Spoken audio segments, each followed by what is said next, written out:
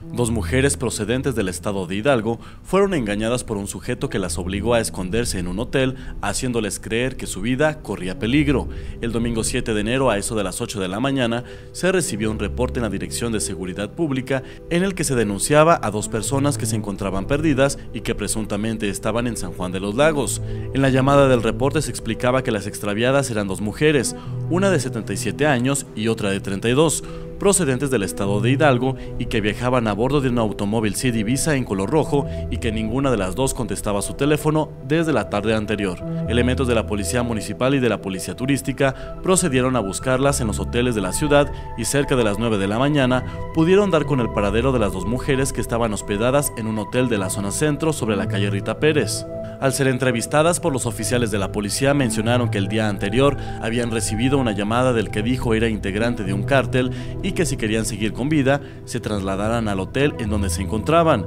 que se encerraran en una habitación y que no dijeran nada a nadie de lo sucedido, que tenían gente armada vigilándolas y les ordenaron que apagaran sus teléfonos. Así lo hicieron hasta que a la mañana siguiente cuando fueron encontradas por los oficiales de la policía y al ser rescatadas ya pudieron ponerse en contacto con sus familias